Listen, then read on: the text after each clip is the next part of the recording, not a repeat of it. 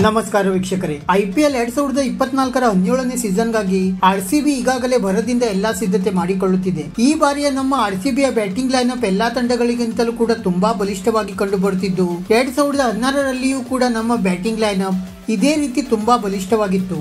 ಆದರೆ ಈಗ ಎರಡ್ ಸಾವಿರದ ಹದಿನಾರರಂತೆ ಇನ್ನೊಮ್ಮೆ ಆರ್ ಸಿ ಬಿ ಬಳಿ ತುಂಬಾ ಬಲಿಷ್ಠವಾದ ಬ್ಯಾಟಿಂಗ್ ಲೈನ್ ಅಪ್ ಇದ್ದು, ಎಲ್ಲಾ ತಂಡಗಳಿಗೂ ಕೂಡ ಕಂಪೇರ್ ಮಾಡಿ ನೋಡುತ್ತಿದ್ದರೆ ನಮ್ಮ ಬ್ಯಾಟಿಂಗ್ ಲೈನ್ ಅಪ್ ತುಂಬಾ ಬಲಿಷ್ಠವಾಗಿ ಕಂಡು ಬರುತ್ತಿದೆ ಮತ್ತೆ ಕಳೆದ ಸೀಸನ್ನಲ್ಲಿ ನಮ್ಮ ಬ್ಯಾಟಿಂಗ್ ಲೈನ್ ಅಪ್ ತುಂಬಾ ಕಳಪೆ ಪ್ರದರ್ಶನ ನೀಡಿತ್ತು. ನಮ್ಮ ಆರ್ ಸಿ ಬಿಯ KGF ತ್ರಿಮೂರ್ತಿಗಳಾದ Faf du Plessis Virat Kohli ಮತ್ತೆ ಗ್ಲೇನ್ ಮೆಕ್ಸ್ವೆಲ್ ಅವರನ್ನು ಬಿಟ್ಟು ಯಾರಿಂದಲೂ ಕೂಡ ಉತ್ತಮ ಪ್ರದರ್ಶನ ಹೊರಬಂದಿರಲಿಲ್ಲ. ಆದರೆ ಈಗ ಆರ್ ಸಿ ಬಿ ಎಲ್ಲಾ ವಿಭಾಗದಲ್ಲಿಯೂ ಕೂಡ ತಂಡವನ್ನು ಬಲಿಷ್ಠಗೊಳಿಸಿದ್ದು, ಈ ತಂಡದಿಂದ ನಿರೀಕ್ಷೆಗೆ ತಕ್ಕಂತೆ ಪ್ರದರ್ಶನ ಹೊರಬಂದರೆ ಖಂಡಿತವಾಗಿಯೂ ಕೂಡ ಈ ಸಲ ಕಪ್ ನಮ್ದೇ ಆಗಲಿದೆ. ಹೌದು ವೀಕ್ಷಕರೇ. ವೀಕ್ಷಕರೇ, ಅದಕ್ಕೂ ಮುನ್ನ ನೀವು ಕೂಡ ಆರ್ ಸಿ ತಂಡದ ಅಭಿಮಾನಿಯಾಗಿದ್ದರೆ ಈ ವಿಡಿಯೋಗೆ ಒಂದು ಲೈಕ್ ಮಾಡಿ ಚಾನೆಲ್ ಅನ್ನು ಸಬ್ಸ್ಕ್ರೈಬ್ ಮಾಡಿಕೊಳ್ಳಿ ಮತ್ತೆ. ಫಾಫ್ ಡುಪ್ಲೆಸಿಸ್ ಮತ್ತೆ ವಿರಾಟ್ ಕೊಹ್ಲಿ ಅವರಲ್ಲಿ ಆರ್ ಸಿ ತಂಡದ ನಾಯಕ ಯಾರಾಗಬೇಕು ಎಂದು ನಮಗೆ ತಪ್ಪದೇ ಕಮೆಂಟ್ ಮೂಲಕ ತಿಳಿಸಿ. ಸ್ನೇಹಿತರೆ, ಆರ್ ಸಿ ಬಿ ಪರ ಈ ಬಾರಿ ಆರಂಭಿಕರಾಗಿ ನಾಯಕ ಡುಪ್ಲೆಸಿಸ್ ಅವರ ಜೊತೆ ಇನ್ನೊಮ್ಮೆ ವಿರಾಟ್ ಕೊಹ್ಲಿ ಅವರು ಕಣಕ್ಕಿಳಿಯಲಿದ್ದಾರೆ. ಈ ಇಬ್ಬರ ಜೋಡಿ ಈ ಬಾರಿಯೂ ಕೂಡ ಎಲ್ಲಾ ತಂಡಗಳಿಗೂ ಕೂಡ ಡೇಂಜರಸ್ ಆಗಬಹುದು. ನಂತರ ಮೂರನೇ ಕ್ರಮಾಂಕದಲ್ಲಿ ಸ್ಫೋಟಕ ಬ್ಯಾಟ್ಸ್ಮನ್ ರಜತ್ ಪಟಿದಾರ್ ಅವರು ಕಣಕ್ಕಿಳಿಯಲಿದ್ದಾರೆ. ರಜತ್ ಪಟಿದಾರ್ ಅವರು ಕೂಡ ಸದ್ಯ ಅದ್ಭುತ ಫಾರ್ಮ್ ನಲ್ಲಿದ್ದು,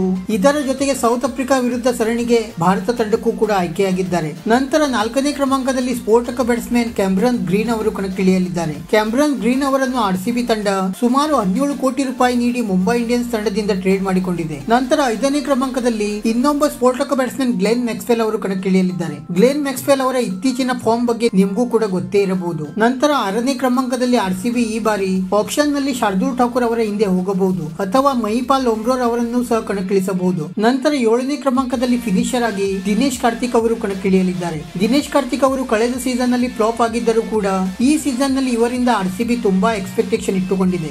ಸ್ನೇಹಿತರೆ, ಇದಾಗಿತ್ತು ಆರ್ ಸಿ ಬಿಯ ಈ ಬಾರಿಯ ಬಲಿಷ್ಠ ಬ್ಯಾಟಿಂಗ್ ಲೈನ್ ಸದ್ಯಕ್ಕಂತೂ ಆನ್ ಪೇಪರ್ನಲ್ಲಿ ಆರ್ ಸಿ ಬಿ ತುಂಬಾ ಬಲಿಷ್ಠವಾಗಿ ಕಂಡು ಬರುತ್ತಿದ್ದು ಆದರೆ ಐ ಪಿ ಶುರುವಾದಾಗ ಇವರಿಂದ ಯಾವ ರೀತಿ ಪ್ರದರ್ಶನ ಹೊರಬರುತ್ತದೆ ಎಂದು ಕಾದು ನೋಡಬೇಕಾಗಿದೆ. ವೀಕ್ಷಕರೇ, ಆರ್ ಸಿ ಬಿಯ ಈ ಬಾರಿಯ ಅದ್ಭುತ ಬ್ಯಾಟಿಂಗ್ ಲೈನ್ ಬಗ್ಗೆ ನಿಮ್ಮ ಅಭಿಪ್ರಾಯವನ್ನು ನಮಗೆ ತಪ್ಪದೇ ಕಮೆಂಟ್ ಮೂಲಕ ತಿಳಿಸಿ. ವಿಡಿಯೋ ಇಷ್ಟ ಆಗಿದ್ದರೆ ಲೈಕ್ ಮಾಡಿ ಮತ್ತೆ ಚಾನಲ್ ಅನ್ನು ಸಬ್ಸ್ಕ್ರೈಬ್ ಮಾಡಲು ಮರೆಯಬೇಡಿ.